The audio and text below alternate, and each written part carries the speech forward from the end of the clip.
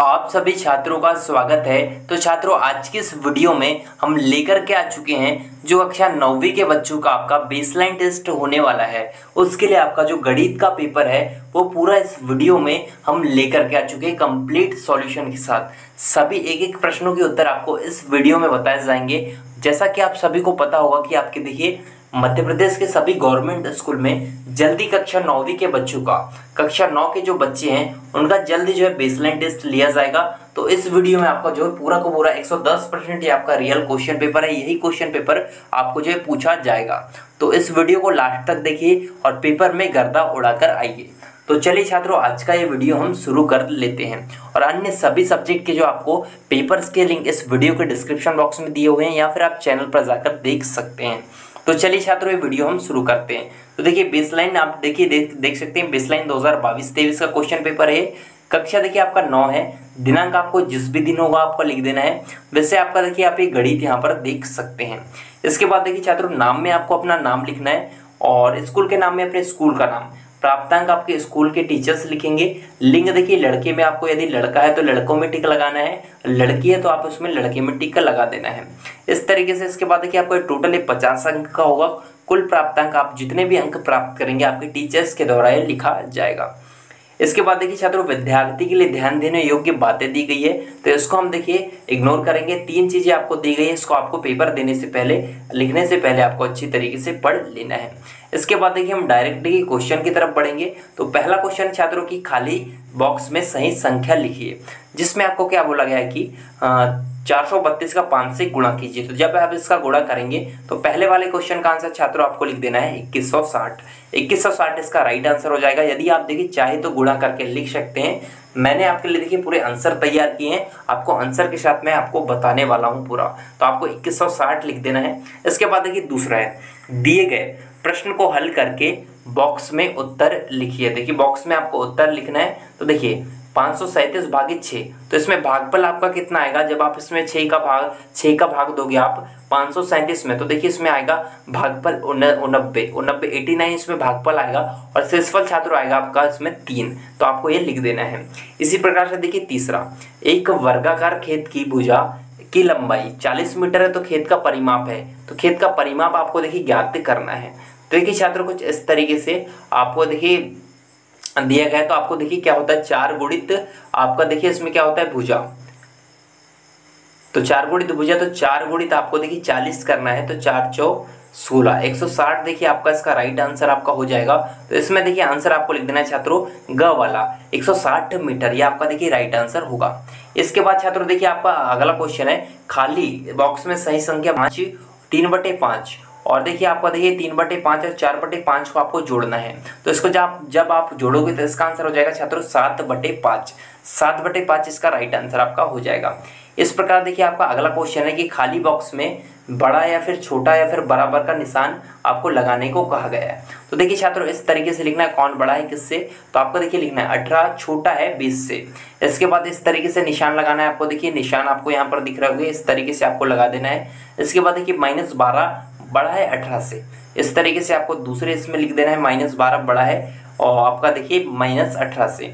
इसके बाद देखिए तीसरे में लिखना है पाँच बड़ा है आपका माइनस सात से।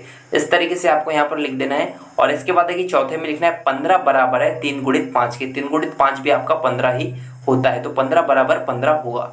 इसके बाद देखिए छात्रों, हम आगे बढ़ेंगे। तो देखिए छात्रों, आगे हम जब बढ़ेंगे तो आपका देखिए छठवा प्रश्न है कि दी गई आकृति के छायांकित भाग को निम्न भिन्न के रूप में लिखिए। भिन्न के रूप में आपको लिखना है। तो देखिए छात्रों, आपके यहाँ टोटल आठ डब्बे हैं और एक डब्बा आपका देखिए यहाँ पर, एक डब्बा ये वाला जो आपका है, ये भरा हुआ है। तो इसका देखिए एट एक बटे आठ आपको यहाँ पर लिख देना है। ये भिन्न के रूप में आपका हो जाएगा, एक बटे आठ इसका आंसर आपको लिख देना है। इसके बाद देखिए छात्रों, आपका सातवां प्रश्न आपको पूछा जाएगा कि मोहन ने एक दुकान से बहत्तर रुपए का सामान खरीदा। उसने दुकानदार को सौ रुपए का नोट दिया। दुकानदार मोहन को कितने रुपए लौटाएगा? तो इसका आंसर लिखने के लिए आपको सौ में से बहत्तर को हटा देना है, इसका उत्तर हो जाएगा अट्ठावीस रुपए। अट्ठावीस रुपए इसका राइट आंसर आपका हो जाएगा छात्रों, ये आपको लिख देना है। इसके बाद देखिए आपका आठवा है कि, सुरेश ने अंकित से छह सौ रुपए उधार लिए और सुरेश ने अंकित को एक सौ बीस रुपए प्रति माह करके एक सौ, देखिए वापस जो है लौटाए। तो कर्ज चुकता होने में कितने माह लगेंगे? तो इसके लिए आपको आंसर के लिए क्या करना है छात्रों? इसके लिए करना है आपको 600 सौ अपॉन एक सौ बीस, यानी 600 में 120 का भाग दे देना है। तो छात्रों, इसका आंसर आपका क्या हो जाएगा? पाँच माह पाँच माह का समय जो है लगने वाला है। इसके बाद देखिए छात्रों, आपका नौवा क्वेश्चन है, अगला क्वेश्चन की एक दर्जन पेन की कीमत चौरासी रुपए है तो एक पेन की कीमत क्या होगी? एक दर्जन में देखिए आपकी बारह पेन होती है तो चौरासी बटे बारह आपको करना है तो सात रुपए इसका सही उत्तर आपका हो जाएगा। सात रुपए इसका उत्तर हो जाएगा, आपको ये लिख देना है। इसके बाद छात्रों, देखिए आपका दसवां प्रश्न की खाली स्थान, खाली बॉक्स में सही संख्या लिखिए। देखिए खाली स्थान में आपको सही संख्या लिखनी है बॉक्स में। तो देखिए, आपका देखिए क्या बोला गया आठ धन पाँच माइनस तीन माइनस प्लस छः माइनस सेवन। तो इसका उत्तर क्या हो जाएगा छात्रों? आपका हो जाएगा नौ। इसको जब आप देखिए कैलकुलेट करोगे तो इसका आंसर आपका नौ हो जाएगा। ये आपको लिख देना है। आपके पूरे सही सही उत्तर है और यही आपका देखिए पेपर आने वाला है पूरा पूरा। तो रट कर जाइए और सभी दोस्तों के साथ इस वीडियो को शेयर कीजिए। इसके बाद देखिए ग्यारहवा। एक समकोण की माप होती है। समकोण की माप कितनी होती है? तो छात्रों, इसकी माप होती है नब्बे। ग वाला, देखिए ख वाला इसका राइट आंसर हो जाएगा। नब्बे पे आपको इसमें टिक लगा के आना है। इसके बाद देखिए छात्रों, आपका देखिए बारवा है।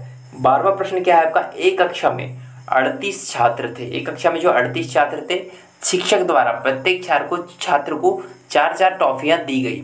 तो बताइए कि शिक्षक ने कुल कितनी टॉफियाँ बांटी? तो इसके लिए आपको चौ, देखिए अड़तीस गुणित चार करना है। तो इसका उत्तर हो जाएगा एक सौ बावन टॉफियाँ। एक सौ बावन टॉफियाँ जो है शिक्षक ने सभी को बांटी। इसका उत्तर हो जाएगा।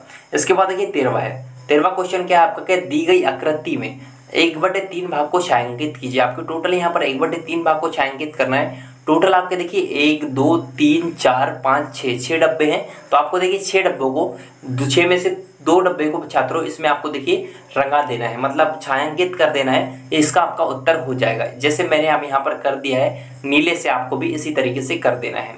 इसके बाद देखिए हम आगे बढ़ेंगे तो आपका चौदह नंबर का क्वेश्चन है कि खाली बॉक्स में सही संख्या लिखिए।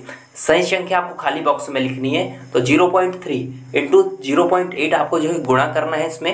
तो जब आप गुणा करोगे तो इसका देखिए आंसर आपका छात्र क्या हो जाएगा? ज़ीरो पॉइंट चौबीस ज़ीरो पॉइंट चौबीस का राइट आंसर आपको लिख देना है। इसके बाद देखिए पंद्रवा पंद्रवा क्वेश्चन है, छात्रों, खाली बॉक्स में सही संख्या लिखें। देखिए zero point four upon ten है। तो इसका आंसर क्या हो जाएगा? आप जब भाग देंगे ज़ीरो दशमलव चार में दस का तो इसका उत्तर हो जाएगा छात्रों आपका चार। चार इसका राइट आंसर आपका हो जाएगा। ये आपको यहाँ पर लिख देना है क्वेश्चन नंबर पंद्रह में। इसके बाद देखिए सोलवा है। अंको चार सात पाँच ज़ीरो से बनने वाली चार अंकों की सबसे छोटी संख्या है। सबसे छोटी संख्या आपको बताना है। तो इसका आंसर देखिए आपको चार दिया है, चार हज़ार संतावन चार सौ संतावन चार हज़ार पचहत्तर या फिर सात हज़ार पाँच सौ चालीस। तो छात्रों, इसका आंसर आपका हो जाएगा ये वाला, ख वाला चार सौ संतावन इसका आपका राइट आंसर आपको लिख देना है। इसके बाद देखिए, आपका सत्रहवा क्वेश्चन है कि सबसे छोटी पूर्ण संख्या है। सबसे छोटी पूर्ण संख्या क्या है? आपको यहाँ पर जो है बताना है। तो सबसे छोटी पूर्ण संख्या देखिए, आपका एक, ज़ीरो, दो या फिर इसके बाद देखिए तीन है। तो छात्रों, इसका जो राइट आंसर आपका हो जाएगा, ये आपका हो जाएगा ज़ीरो। ज़ीरो इसका जो आपका राइट आंसर हो जाएगा, ये आपको जो है इसमें लिख देना है। देखिए, ज़ीरो आपका इसमें आपका राइट आंसर ये वाला लिख देना है। इसके बाद देखिए, अठारहवा क्वेश्चन है कि संख्या छः के पाँच प्रथम पाँच गुणज को लिखिए। संख्या छः के प्रथम पाँच गुणज आपको लिखना है। छः दूनी बारह छः अठारह छः चौबीस छः पंचे तीस। इस तरीके से छात्रों, आपको ये लिख देना है। इसका आंसर आपका हो जाएगा अठारहवें क्वेश्चन का।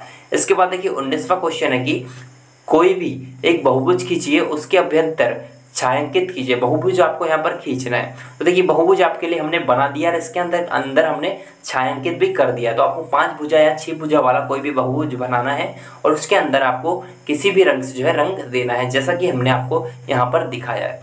इसके बाद देखिए, बीसवा, घड़े की घंटे वाली सुई कहाँ रुकेगी? यदि वह एक से प्रारंभ करे और एक समकोण घूम जाए। तो देखिए, इसका क्या हो जाएगा आंसर? देखिए, एक से प्रारंभ करेगी और एक समकोण देखिए, नब्बे अंश का होता है तो नब्बे अंश वो कब बनाएगी? जब वो दस में जाएगी। तो इसका हो जाएगा छात्रों आपका दस में। दस इसका राइट आंसर हो जाएगा क्वेश्चन नंबर बीस के बाद छात्रों आपका अगला क्वेश्चन है। क्वेश्चन नंबर इक्कीस, जिसमें आपको बोला गया कि संख्या रेखा पर माइनस पाँच को दर्शाना है। संख्या रेखा आपको यहाँ पर दी गई है माइनस पाँच आपको यहाँ पर दर्शाना है। तो देखिए, हमेशा संख्या रेखा में देखिए माइनस वाली संख्या, देखिए माइनस वाली संख्या हमेशा बाई ओर रहती है और दाई ओर जो है हमेशा प्लस वाली संख्या रहती है। तो देखिए माइनस पाँच को आपको दर्शाना है तो बाई ओर जाना पड़ेगा। तो देखिए, एक, दो, तीन, चार और पाँच। तो पाँच के बाद देखिए, आपका यहाँ माइनस फाइव आपको यहाँ पर दर्शा देना है। इस तरीके से माइनस पाँच लिख देना है आपको। इसके बाद देखिए, आपका बाईसवा क्वेश्चन है कि संख्या तीन बटे पाँच के तुल्य एक भिन्न लिखिए। तीन बटे पाँच के तुल्य एक भिन्न लिखना है, इसके तुल्य। तो इसका आंसर हो जाएगा छात्रों, आपका छः बटे दस। छः बटे दस आपका राइट आंसर आपको लिख देना है। इसी प्रकार देखिए, आपका अगला है कि रवि ने तीन क्रमागत दिनों में क्रमशः चार घंटे, पाँच घंटे और तीन घंटे पढ़ता है। उसके प्रतिदिन पढ़ने का औसत समय क्या है? तो छात्रों, इसके लिए आपको क्या करना है? इसके लिए आपको पूरे को जोड़ना है और उसमें तीन से भाग दे देना है। तो इसका आंसर आपका देखिए हो जाएगा चार घंटे। चार घंटे इसका राइट आंसर आपको लिख देना है। इसके बाद देखिए छात्रों, आपका देखिए अगला क्वेश्चन है कि अगला है, संख्या एक सौ तीन से गुणा करके तीन से घटाने पर बनने वाला बीजी व्यंजक लिखिए। तो देखिए तीन से गुणा करेंगे तो तीन एक्स हो जाएगा और तीन माइनस करेंगे तो तीन एक्स माइनस तीन। ये आपका देखिए बीजी गुणज हो जाएगा। ये आपको इसमें जो है चौबीस नंबर के क्वेश्चन में आंसर लिखना है। इसी प्रकार छात्र देखिए क्वेश्चन नंबर पच्चीस है। क्वेश्चन नंबर पच्चीस क्या है कि संख्या तीन बटे पाँच और पाँच बटे तीन का गुणनफल ज्ञात कीजिए। तो देखिए, आपको इसमें गुणा करना है तो तीन बटे पाँच और पाँच बटे तीन का जब आप गुणा करेंगे तो पंद्रह बटे पंद्रह आएगा और पंद्रह से पंद्रह कट जाएगा तो एक इसका आंसर आपका आ जाएगा। एक इसका आंसर आपका, छात्रों, आपको यहाँ पर जो है लिख देना है, इसका आपका जो है राइट आंसर हो जाएगा। इसी प्रकार देखिए क्वेश्चन नंबर छब्बीस। क्वेश्चन नंबर छब्बीस में संख्या एक सौ बीस को एक अनुपात दो में बांटी है। तो देखिए, इसका आंसर आपको लिखना है एक्स धन, दो एक्स मान लेना है, बराबर एक सौ बीस, तीन एक्स प्लस एक सौ बीस तो पहली हो जाएगी छात्रों आपका चालीस, और two X two into forty into देखिए देखिए, इसका हो जाएगा एटी इस तरीके से आपको पहली चालीस और दूसरी अस्सी। इस तरीके से आपको संख्या लिख देनी है। इसके बाद देखिए, छात्रों, आपका सत्तावीसवा क्वेश्चन है कि संख्या दो दशमलव चार को तीन से भाग दीजिए। तो जब आप दो दशमलव चार को तीन से भाग देंगे तो छात्रों, इसका आंसर हो जाएगा zero point eight. Zero point eight इसका राइट आंसर आपको लिख देना है।